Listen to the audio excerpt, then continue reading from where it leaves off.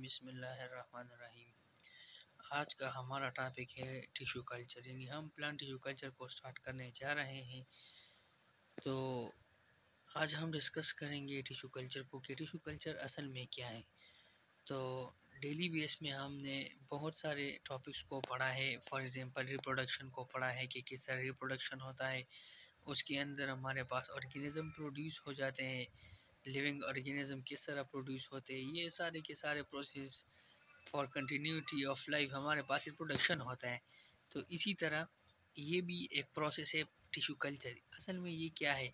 ये एक टेक्निक है जिसके ज़रिए से हम क्या करते हैं, एक ऑर्गेनिज़म को हम प्रोड्यूस करते हैं आर्टिफिशियली यानी किसी भी ऑर्गेनिज्म को जब हम आर्टिफिशियली प्रोड्यूस करते हैं आउटसाइड द बॉडी एक मीडियम में तो उस प्रोसेस को हम क्या कहते हैं? इस टेक्निक का नाम है tissue culture it is a technique in which a tissue fragment of organism in plant is treated in an artificial medium और nutrient medium in order to produce a whole organism a plant तो समझ गई अच्छे, इसके अलावा the growth of tissue outside the body in a test tube having nutrient medium in order to produce an identical genetical copy of the organism ये tissue culture असल में ये, वो टेक्निक है जिसके ज़रिए से हम किसी भी ऑर्गेनिज्म का आइडेंटिकल कापी यानी उसका क्लोन बना लेते हैं, ठीक है ना? ये क्या है? इन्वेट्रो है। इन्वेट्रो मीन्स एक्सयू ये लेबार्ट्री के अंदर टेक्निक है, यानी आउटसाइड द बॉडी टेक्निक है। असल में इसके अंदर हम क्या करते हैं? प्रोपगेशन ऑफ़ प्लांट करते हैं टेस्ट ट्यूब के अंदर। इसमें जो ग्रोथ होता है, ये दो टाइप का है। या तो वो ऑर्गेनाइज ग्रोथ होगा या अनऑर्गेनाइज ग्रोथ होगा। तो अभी चलो जी हम देख लेते हैं the growth of tissue in this technique are of two type, organise and unorganise, organise क्या है? When form non structure.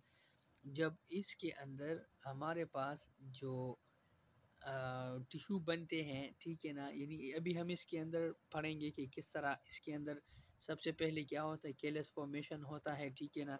यानी मतलब अनडिफ्रेंशिएटेड मास ऑफ़ सेल बनते हैं, ठीक है ना? तो अभी इसके अंदर हम पढ़ेंगे किस तरह प्लांट्स सबसे पहले इसके अंदर क्या हो जाता है, ठीक है ना? ऑर्गेनाइज फॉर्म नॉन स्ट्रक्चर से contribute to the creation of structure यानी इसके अंदर जब ग्रोथ हो जाए, यानी टिश्यू कल्चर के दौरान ग्रोथ होता है, किसी भी सेल या पार्ट को हमने लिया है, उसको हम ग्रो करते हैं टिश्यू के अंदर इसको जो नेसेसरी इसके लिए जो इन्वायरमेंट नेसेसरी उसको हम प्रोवाइड करते हैं, उसे दबाड़ी तो वो जब हम प्रोवाइड करते हैं तो इसके बाद जो टिश्यू है, वो क्या है? वो ग्रोथ करता है, एक ऑर्गेनिज्म बनाता है। तो इसका ग्रोथ दो टाइप की, या वो ऑर्गेनाइज ग्रोथ हो या ऑर्गेनाइज ग्रोथ होगा अगर वो टिश्यू हमारे पास क्या हुआ? एक नॉन स्ट्रक्चर बनाया तो उसको ऑर्गेनाइज कहेंगे। अगर नॉन स्ट्रक्चर नहीं बनाया तो उसको हम क्या कहेंगे? अनऑर्गेनाइज ग्रोथ कहेंगे भी ये किस तरह हम इसके टाइप्स में हम ये पढ़ेंगे। ऑर्गेनाइज ग्रोथ जब आपके साथ क्या हो जाए वेन फॉर्म नॉन स्ट्रक्चर जब एक such is contribute toward the creation of define जब डिफाइन स्ट्रक्चर बनाए तो उसको हम क्या कहेंगे? ऑर्गेनाइज ग्रोथ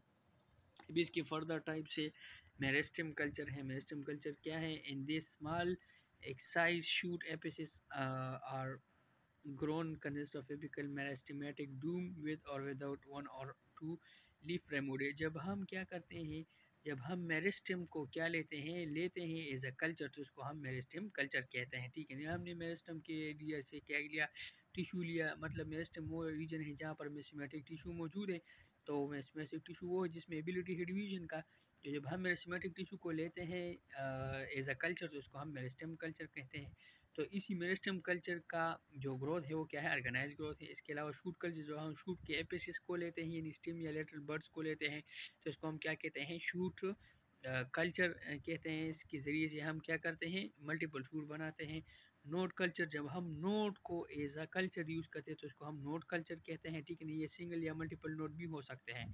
अच्छा इसके अलावा आइसोलेटेड रूट कल्चर क्या है? इसके अंदर हम क्या करते हैं? रूट को अनकनेक्ट करते हैं शूट से और इसी तरह उसको एज कल्चर इस्तेमाल करते हैं। इसके अलावा है एम्ब्रियो कल्चर एम्ब्रियो कल्चर में हम क्या करते हैं फर्टिलाइज या अनफर्टिलाइज जाइगोटिक एम्ब्रियो को इस्तेमाल करके क्या बनाते हैं एज कल्चर यूज़ करते हैं ताकि इसे क्या बनाए इसे एक मतलब एक प्लान बनाए।